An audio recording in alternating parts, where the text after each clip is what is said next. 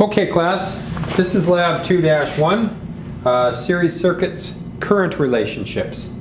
So the purpose of this lab, if I read it from the text here, is to, uh, the current that flows in a series circuit is the same through all parts of the circuit, even though most loads are connected in parallel. This concept is very important in the design of circuits. Control devices are most often connected in series with the load to control the current flowing through the load. As well, High resistance connections act as a series of resistances which cause a decrease in power output from the load. To troubleshoot such high resistance connections requires a good understanding of series circuits. So the purpose of this lab is to explore that the current that leaves this source at any given point within this circuit is going to be exactly the same. Now I've connected up some digital meters. I don't think you're going to be able to get a good image of them, but we'll see how it comes out on, uh, on the video. Okay. I've connected up, as the drawing shows in, in, the next page there, figure one, we've got three cone heaters all connected up in series. So I've got my power coming out, heading through my ammeter, out of my ammeter up to my first cone heater, through that cone heater over to this one, through that cone heater to, to the next cone heater three, and then returning back to my negative terminal there. This voltmeter is connected up across the source to verify the voltage we are outputting. They are asking us to, uh, to turn the power on and increase it up to 120 volts.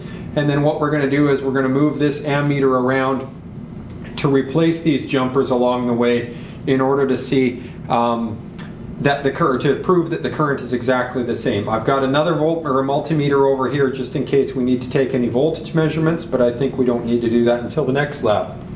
So, I'm going to turn power on. I've already preset my value to 120. Okay, so it says from steps one through four, we connect everything up.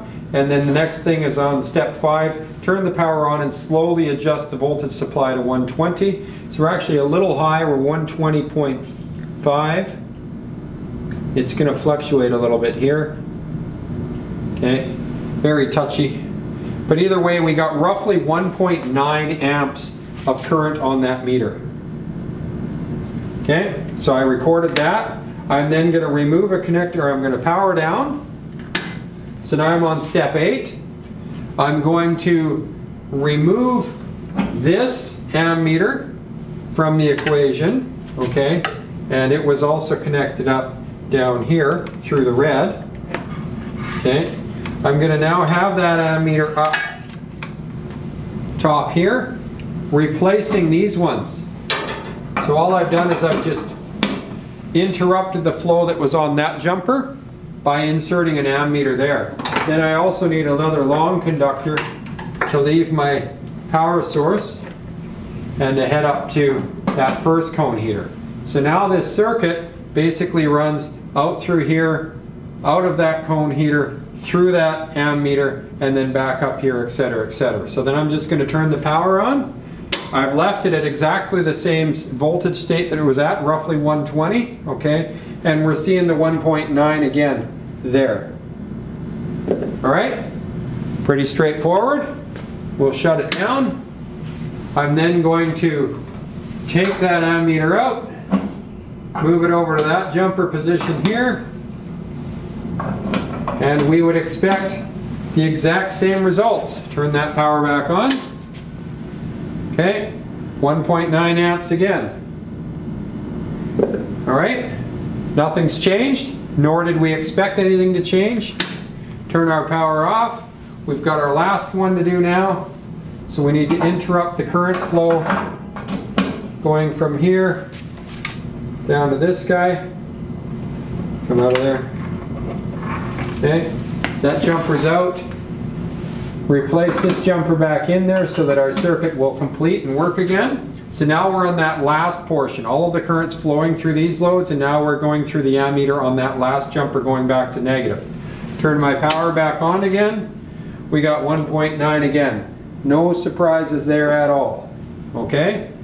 Next, we're going to power down. I'm all the way down to uh, step 20 now. Okay? And what they say is they want us to connect a jumper across two terminals of the cone heater number two to effectively short circuit one of the cone heaters. So if I just grab a small jumper. Okay, and I'm going to place that across those terminals. What I have effectively done now is short circuited that. Now that doesn't necessarily mean it's a short circuit when I turn that breaker on that my, my or turn, turn our power on that my breaker is going to trip because I've got a short circuit. I've only shorted one load out. These two loads, that cone heater there and that cone heater are still connected as they would have normally been, okay? All I've done here is reduced some resistance in that circuit, but we are also going to take uh, keep this voltage the same. So by reducing the circuit resistance and keeping the voltage the same, we should now see an increase in circuit current, okay? So we're going to turn some power back on and see what happens. And it's exactly like I said, we've got 2.8 amps now flowing through here, okay? So if I record that,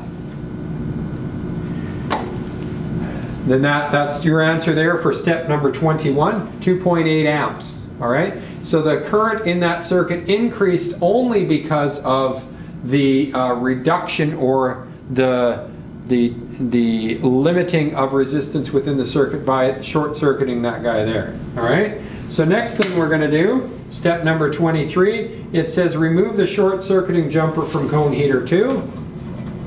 Okay, all good there and then uh, remove the connecting jumper between cone heater 1 and cone heater 2. So this one here. So now what I've done is I've created an open circuit. In other words, current is going to try to flow up here, but it has no completed path to be able to get back to the source. So do we anticipate any current flowing in here? The answer would be no. We can prove that by turning our power on. We're at 120, our source is 120, actually it's higher than that that says 127 now. This power supply is really fluctuating up and down a lot. Okay? But either way, it doesn't matter. I can have that thing cranked way up. We've got no current flowing in there. That says a whole bunch of zeros because this is a wide open terminal here. Okay? No path for current to flow back to the source. So that would be zero amps for step 25 in your lab book. Okay? We then power down. I guess I could have turned that down. Okay? We shut everything off, everything's safe, okay? We clean up our work area and then we will proceed to answer the questions. All right, so that's lab 2-1, series circuits, current relationships.